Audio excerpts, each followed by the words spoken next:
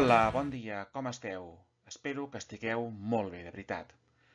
Us presento un altre vídeo de Portal de Història sobre el tema la dictadura de, de Primo de Rivera. En concret, avui el vídeo va de la dictablanda, és a dir, el període que va des de la caiguda de Primo de Rivera, al gener de 1930, fins a les, a les eleccions d'abril del 1931, que, com sabeu perfectament, és quan es proclama la Segona República. És un vídeo que, si l'has obert, és perquè has volgut. Per tant, ara no em vinguis amb històries. Mm, n'has d'assumir les conseqüències de veure'l. Així que tu mateix, tu mateixa. Vinga, anem a començar, no? Preparats? Preparades? Doncs vinga, anem-hi.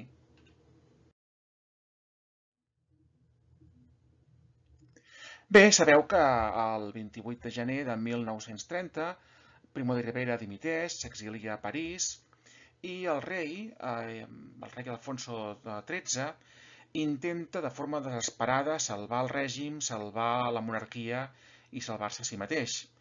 I encarrega al general Damaso Berenguer que iniciï un intent de tornar a la normalitat constitucional prèvia el cop d'estat de Primo de Rivera, és a dir, tornar com si des del 23 al 30 no hagués passat mai, tornar al període anterior. Això va ser un encàrrec enverinat, impossible, perquè mm, es va trobar Berenguer amb uns quants problemes. Per exemple, tothom, o pràcticament tothom, havia identificat monarquia i dictadura. El rei, al donar suport explícit i evident al cop d'estat i, per tant, eh, avalar que la Constitució mm, quedés suspesa, s'havia identificat, s'havia lligat amb el règim de la dictadura. A més a més, els partits dinàstics pràcticament s'havien desintegrat. No tenien ja mm, una organització activa ni líders que estiguessin eh, a primera línia de la política. Li va faltar, per tant, a Berenguer una, una manca de recolzament, de les figures polítiques d'un cert prestigi o d'una certa experiència del règim anterior perquè simplement havien passat masses anys. I fins i tot no va tenir el, el suport de la Unió Patriòtica, que ara, per cert, havia canviat de nom i aviat es dirà Unió Monàrquica Nacional, perquè es va ancorar cap a l'extrema dreta i creia que aquesta, aquesta intent de tornada a la Constitució doncs, no, no, era, no era per ells positiva. En tot cas, doncs, bé, com a, com a dada eh, cronològica, mm, que sapigueu o que tingueu constància que Berenguer va ser el president del govern d'Espanya entre el 30 de gener de 1930 i el 18 de febrer del 31. Com va ser la política en aquest període de la dicta blanda?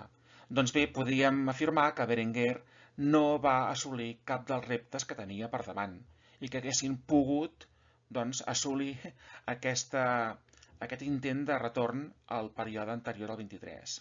Per començar, no va restablir la Constitució de 1876. Per tant, no, va, no es va desvincular suficientment de la dictadura de Primo de Rivera. Tampoc va convocar eleccions, com d'exigia l'oposició, unes eleccions que haguessin permès formar unes noves Corts que haguessin pogut fer aquest camí de retorn cap, a, cap al règim de la restauració anterior. I tampoc va dur a terme mesures eh, de reforma en el sentit liberalitzador, que les poquetes que va fer van ser lentes, van ser poques i van tenir molt poca transcendència. Per aquest motiu, l'oposició política i els mitjans de comunicació de l'època mai no van donar cap credibilitat al govern jo crec que és molt eh, exemplificador d'això, que, que dic, el titular de l'article que va fer el filòsof José Ortega i Gasset al diari El Sol, el 5 de novembre de l'any 30, quan parlava del el, el error Berenguer. I fixeu-vos el que deia, deia, Espanyoles, vuestro estado no existe, reconstruïdlo, de l'enda ets monarquia. És a dir, la monarquia ha de ser destruïda, ha de ser morta.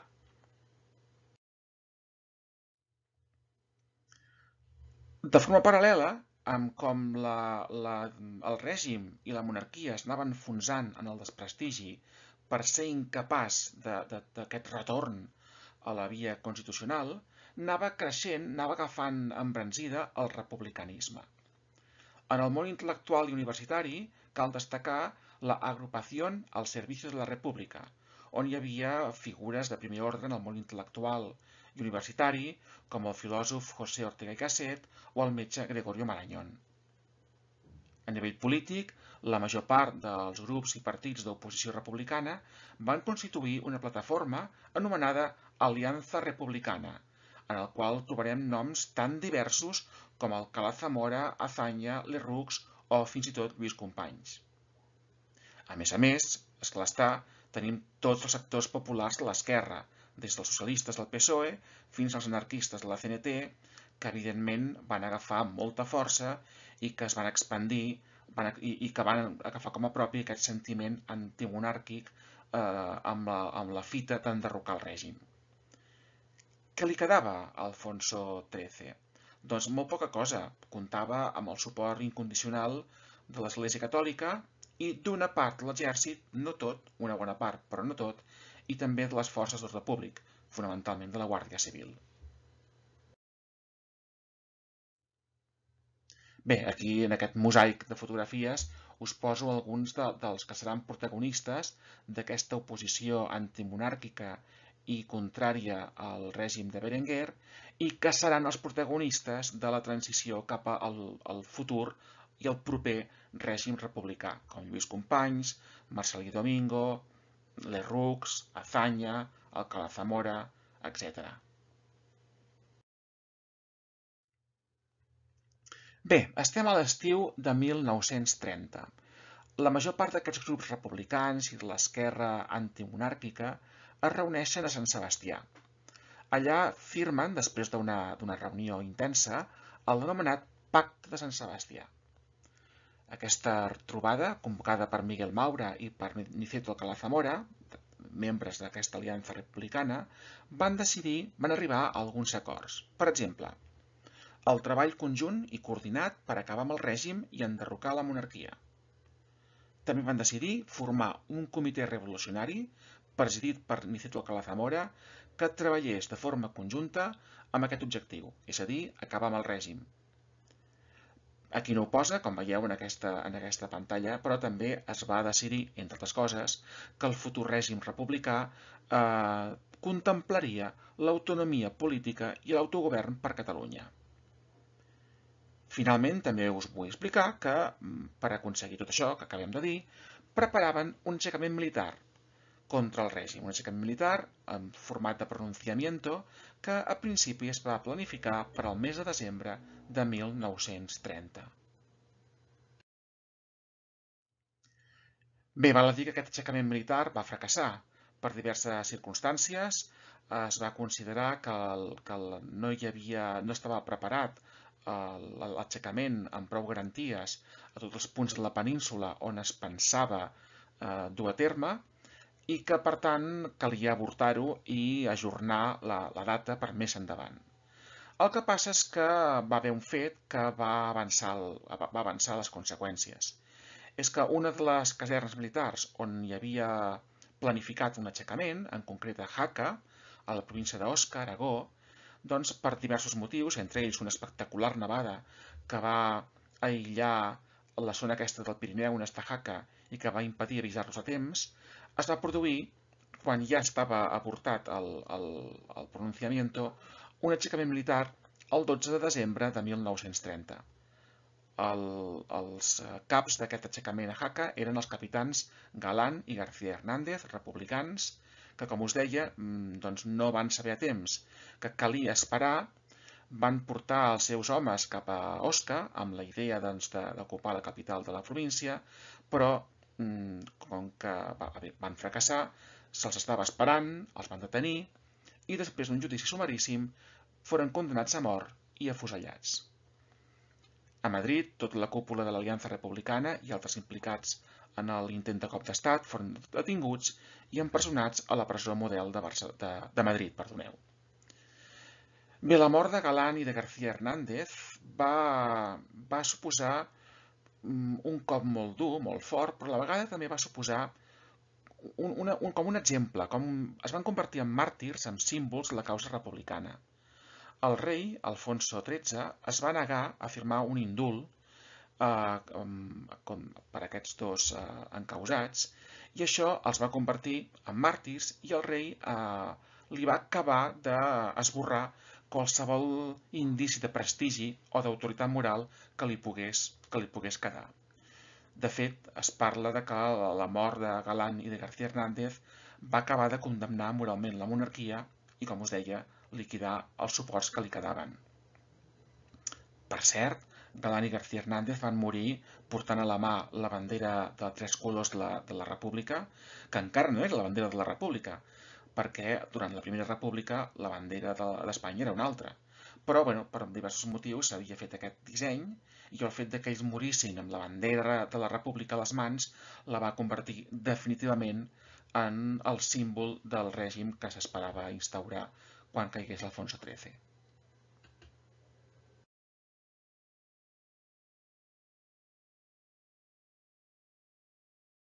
Bé, això que us deia, eh? Aquí a la part dreta de la pantalla tenim la bandera d'Espanya durant l'època de la Primera República, el 1873-74.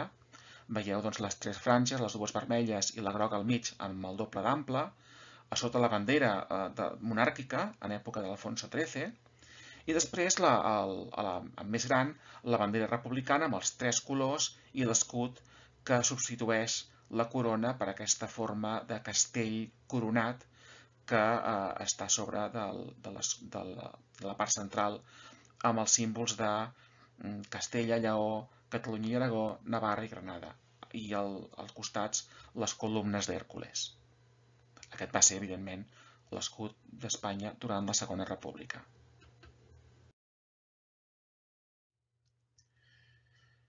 Bé, el, el rei destitueix a Berenguer al febrer de 1931 i nomena encara un tercer dictador, el, un, un, un, un darrer intent de poder, poder esborrar la vinculació de la monarquia amb la dictadura i de tornar a, a la pretesa normalitat constitucional prèvia, i nomena com a cap de govern l'almirall Juan Bautista Aznar. El que passa és que ho té realment molt complicat, començant pel seu propi govern, el Consell de Ministres es divideix en dos sectors. Un sector dur, disposat a fer ús de la força, de la violència militar, per mantenir, costi que costi, la monarquia, i per tant contrari a qualsevol tipus de diàleg o de concessió a l'oposició republicana, el seu líder era el ministre Juan de la Cierva, i un sector més moderat que creia que no, que, que no hi havia més remei que negociar que parlar amb els republicans i d'arribar a algun tipus de pacte que permetés salvar el règim, però amb una mena d'acord amb l'oposició republicana més moderada. Aquí teníem com a principal portaveu el conde de Romanones. Bé, en un moment donat, el govern d'Aznar veu que no li queda més remei que convocar eleccions, que començar un procés electoral amb aquesta intenció que ja us he comentat diverses vegades. I creu que l'ordre correcte per eh, garantir al màxim possible els seus objectius és començar per unes eleccions municipals i guardar per les últimes, les legislatives, per, eh, per escollir un nou Parlament, unes noves Corts Generals. Creu que amb les municipals serà més fàcil doncs, poder manegar els resultats, especialment en els pobles i en l'àmbit rural, i per tant comptar amb ajuntaments promonàrquics que facilitin després doncs que els resultats no, no siguin tan negatius com es podria esperar. Les eleccions municipals es convoquen per el dia 12 d'abril de 1931.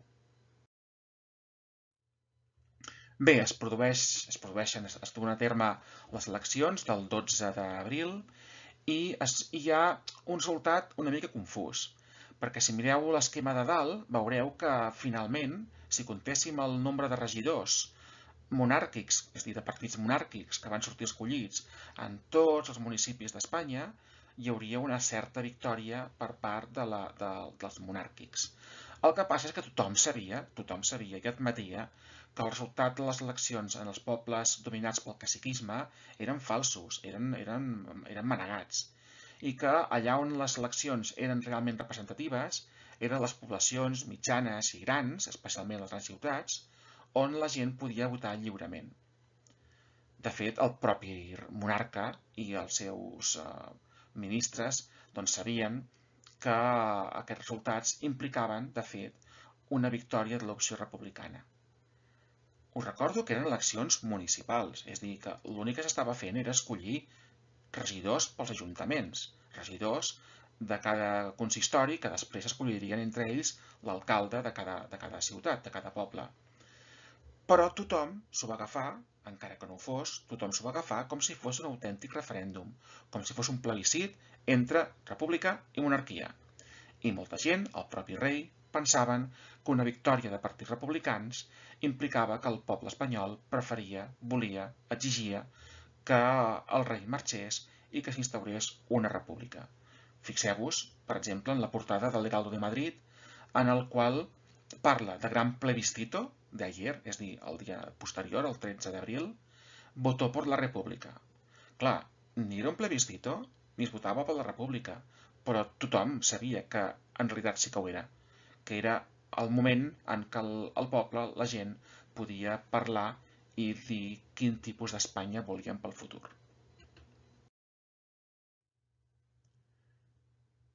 Acabem eh, explicant quins van ser els resultats a Catalunya. A Catalunya els resultats van ser molt clars, molt més que en el conjunt de l'Estat. Esquerra Republicana va i altres partits republicans petits van obtenir una gran majoria dels regidors que s'escollien en el conjunt de municipis catalans, amb més bueno, de 6.000 regidors en total, 6.001 per ser exactes. Altres grups d'esquerra, com socialistes, radicals i comunistes, quedaven molt lluny d'aquesta xifra, amb 143 regidors. La Lliga Regionalista, com a representants de la dreta catalanista eh, conservadora, va tenir 1.773 regidors, per tant, menys d'un terç tercera part dels que havien obtingut els, eh, els de l'Esquerra Republicana de Catalunya, mentre que els partits monàrquics no arribaven a 400 regidors en, tot, en tota Catalunya. Per tant, hi ha eh, un claríssim guanyador, que era Esquerra Republicana de Catalunya. Aquest partit era un partit molt jove, tan jove com que s'havia creat feia menys d'un mes es va crear en una, en una assemblea republicana celebrada els dies 17, 18 i 19 de març de 1931 a Barcelona i que fusionava partits republicans d'esquerra, com per exemple l'Estat català, de Francesc Macià, o el Partit Republicà Català, liderat per Lluís Companys i altres grups. El primer president d'aquest partit va ser Francesc Macià. La Lliga Regionalista havia quedat bandejada perquè molta gent l'havia arribat a identificar amb el govern d'Aznar. Pensem que fins i tot algun membre de la Lliga havia arribat a ser ministre de la dictadura. Bé, per tant, tenim una situació, el 12 d'abril del 1931, d'una victòria de l'opció republicana, estem, de, evidentment, davant de, del final d'un règim i del començament d'un altre que donarà per un nou vídeo, com us podeu imaginar. Bé, amb això acabem aquest vídeo, aquest tema. Espero que us hagi, no sé si dir, dir agradat, però com a mínim que us hagi estat útil i per tant doncs, no, no, no m'odieu massa després de gairebé 19 minuts i, i una miqueta més de donar-vos la brasa. D'acord? Doncs ho deixem aquí. Gràcies per, com sempre, per veure-ho i escoltar-ho i ens trobem en un altre vídeo. Adeu!